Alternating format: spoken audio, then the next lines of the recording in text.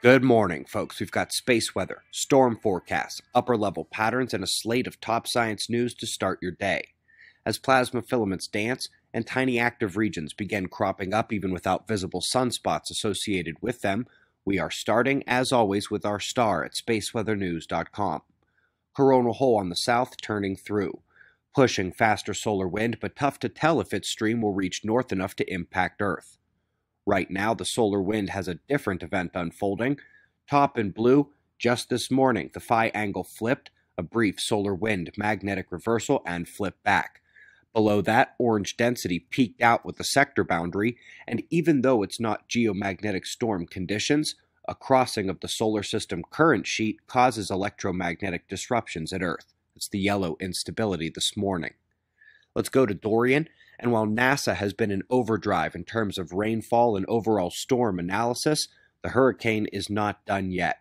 We've got the GFS and Euro models left and right. Running together, there is less than a 5% difference in the intensity and track forecasts combined. This is today and tomorrow's expected motion. Eyes open and hunker down on the coast. Taking it up to the polar vortex in the south, this was just one month ago, but today the breakdown is in full swing. FYI, for those who heard about the sudden stratospheric warming, that is called springtime. It breaks down the vortex every year around this period. Still no sign of formation in the northern vortex, likely to be starting in about a month. Let's go next to Jordan. Not exactly your most verdant and agriculturally productive region, nor the most peaceful. Interesting story about how the entire country is on the brink of being without water and is generally surrounded by nations unwilling to help them. Article Stumble up next. The title makes a relatively definitive claim that sounds like it's based on observations. In reality, it's only a model, just a computer program, being reported as if it were actually happening or had already happened. Careful reading helps. An interesting conundrum I'll need to investigate further is the super non nova explosions in NGC 6946. They say they are phenomenal X ray outbursting events, but with no visible counterpart, meaning these are definitively not your normal nova events. Now, while the scientists wrestle with black hole eats star hypotheses, I am very interested in dust obscured micronova potential or super flare events that would be less likely to present in optical wavelengths. And now we're on to the top story.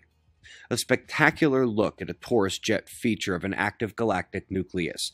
ALMA's discoveries keep on coming.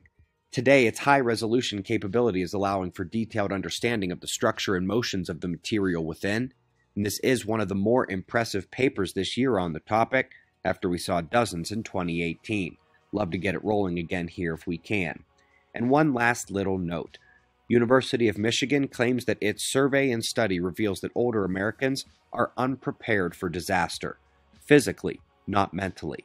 Most actually said they felt ready, but had taken fewer steps to prepare than either Michigan would have expected or would have been expected based on their stated state of readiness. We greatly appreciate your support. We've got wind map forecasts and shots of our star to close, and we'll do this all again tomorrow, right here. But right now, it's 5 a.m. in the new Valley of the Sun. Eyes open, no fear. Be safe, everyone.